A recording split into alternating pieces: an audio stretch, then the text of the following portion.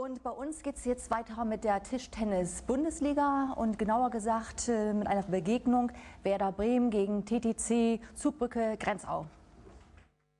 Tischtennis-Bundesligist Werder Bremen traf am 16. Dezember auf die Mannschaft von TTC Zugbrücke Grenzau. Werder spielte in folgender Aufstellung. An Nummer 4 gesetzt war Paul Drinkhall, die aktuelle Nummer 83 in der Weltrangliste. An dritter Stelle hat Trainer Christian Tamas den Rumänien Konstantin Giotto aufgeboten. Adrian Krisan, die Nummer 22 in der Welt, spielt im Werder-Team an Nummer 2 gesetzt.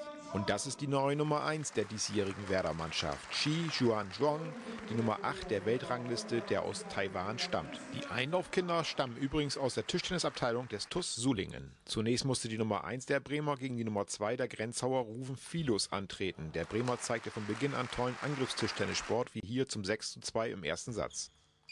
Hier schon der Satzball zum 11 zu 4 für den Bremer und schon nach 10 Minuten war dieser zu Ende. Anfang des zweiten Satzes beim Stand von 1 beide dann der beste Ballwechsel des gesamten Spieles. Chang leitet sofort den Angriff ein und schmälert ein paar Mal mit seiner Rückhand, bis der Grenzauer den Ball nicht mehr auf der Platte platzieren kann. Neuer Spielstand 2 zu 1 für Werder.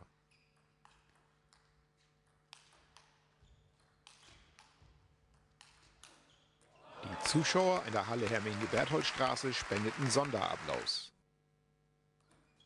Hier ein ähnlicher Ballwechsel, nur dass Schuang einen Stoppball dazwischen setzt. Das Ergebnis aber ist gleich. Punkt für Werder zum 9 zu 6. Der zweite Satz ging damit 11 zu 6 an den Bremer.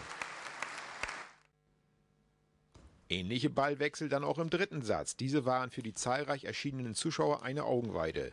Insgesamt war der dritte Satz aber ausgeglichener. Der Grenzhauer führte sogar einmal mit 9 zu 7.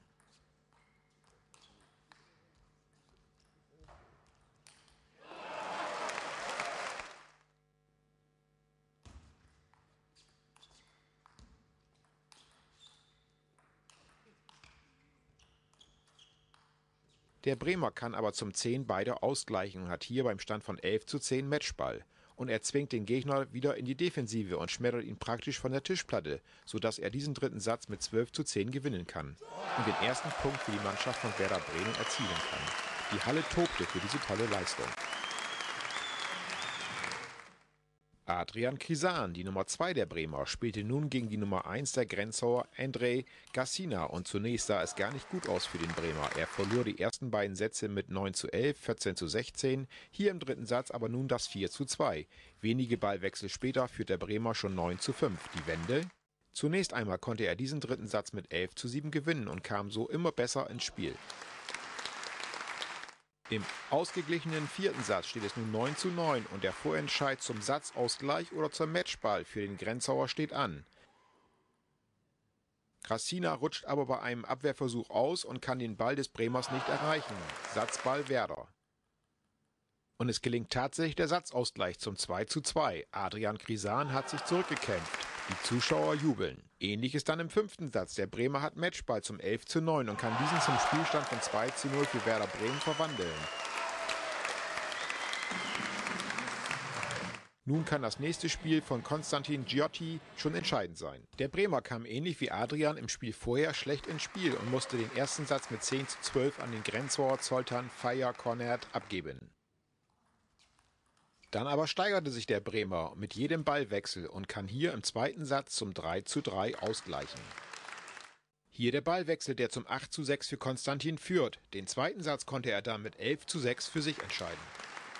Im dritten Satz hier bereits der Satzball zum 11 zu 7 für den Bremer. Nun war der Gesamtsieg des Spieles Werder Grenzau greifbar nahe. Im vierten Satz leistete der Gegner noch einmal Widerstand, spielt aber hier den Ball ins Aus. Matchball Werder. Und diesen ersten Matchball zum 12 zu 10 im vierten Satz ließ sich Konstantin Giotti nicht nehmen. Er verwandelte ihn und somit lag Werder uneinholbar mit 3 zu 0 vorn. Das Spiel war entschieden. Werder hatte erfolgreich Revanche für die 2 zu 3 Hinspielniederlage genommen. Nach dem Spiel sprach ich mit dem Werder-Trainer. 3 zu 0 gegen Grenzau. Wo soll das für Werder Bremen noch hinführen in der Tischtennis-Bundesliga?